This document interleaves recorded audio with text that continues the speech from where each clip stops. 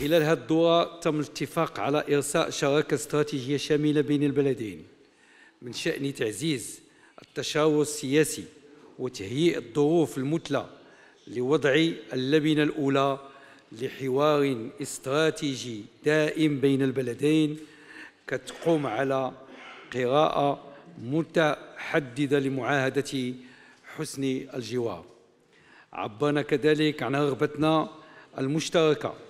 فالمواصلة ديال تعزيز إطار التعاون الاستراتيجي والارتقاء به إلى مستويات أكبر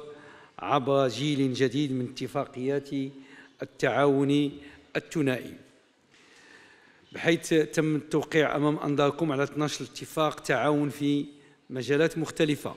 على غيرها قطاع العدل الثقافة الإسكان العالم العالم القروي السياحة الصناعة التقليدية الشباب المرأة بالإضافة إلى الاستثمار وقطاعات أخرى واللي من شأنها أنها ترتقي بالتعاون إلى المستوى الاستراتيجي اللي كنطلعوا عليه.